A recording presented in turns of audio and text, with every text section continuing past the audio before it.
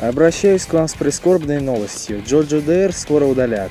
С 18 ноября сервера этой игры перестанут вещаться. До 17 октября можно будет купить донатные монеты. В связи с этим событием Bandai Namco выпускает Jojo Eyes of Heaven на мобильное устройство. Произошел, блять? Что? В какой момент разрабы поняли, что три года и игру можно закрывать? Тем более, что до сих пор не выпущены все персонажи. Так, блять, где мой пеший? Просто почему? Вот работали они над игрой, и вот сейчас мы узнаем, что наступил он of the Jojo DR. Как? Давайте пробежимся по событиям, которые могли бы подтолкнуть Бамку к удалению игры. Итак, началось все с появления пошагового режима. Так как японцы любят РПГ, Бамку соблазнило сделать такую движуху с героем Роджи. Результат не совсем их обрадовал, многих игроков не зацепил новый режим, а массу в огонь подливало то, что тактика стала основным режимом. Разработчики даже собирались удалить экшен режим, который стал доступен только в компании Story Mode. Тогда они объявили халявную валюту, за которую можно было приобрести паки. Несмотря на то, что были обещаны только персонажи 5 и 6 звезд, это оказалось обманкой, ведь были персонажи остальных рангов. Однако некоторые игроки все же вернулись, и разработчики спустя несколько месяцев все же иногда выпускали beat 'em up в ивентах. И вот, спустя время у многих игроков скопилась большая коллекция, а у некоторых, возможно, собрана вся.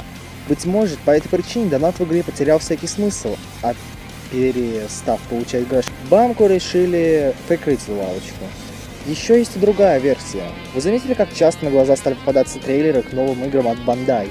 One Punch Man, Тагийский Гуль, Джоджо для аркадных автоматов, новый DLC для Taken 7 и так далее. Возможно, было принято решение прекратить вещание серверов, потому что им не удается следить за несколькими играми сразу. Но что это навряд ли, ведь это же Бамку. А так как с данной игры не получает меньше всего денег, то финансов на развитие этого проекта не стало хватать. Выходит, что теперь Stardust Shooters останется единственной игрой по аниме. Ну и самый последний вариант, скорее всего наиболее вероятный, это то, что Бамку вовсе не собирается закрывать Джоджи Дерр, а прикрывает лавочку лишь на время. Посудите сами, не так давно вышли такие персонажи, как Дьявол и Джорна с Реквиемом, это самые имбовые персонажи, которые есть в игре, не считая Бруно и Кио. Следовательно, они могут контрить абсолютно любую команду, а остальным игрокам, которым не удалось получить персонажей, остается только пососать, какие персонажи бы у них ни были. Следовательно, в игре имбаланс. Какой смысл играть на аренах и прочих уровнях, если в любой момент тебе могут попасться такие персонажи, и ты ничего с этим не можешь поделать? Скорее всего, как я уже и говорил, игру закроют на время, лишь для того, чтобы пофиксить Дьявола и Джорна. Подобный случай уже был с другой игрой от Bandai Namco. Эта игра была по One Piece. Тогда игру закрывали на полгода, что, чтобы не только устранить ее ошибки, но и также глобально переработать. Что станет... Что станет с Diamonds Record, я пока знать точно не могу. Причины до сих пор не уточняются, но надеемся, что эту игру не станут закрывать.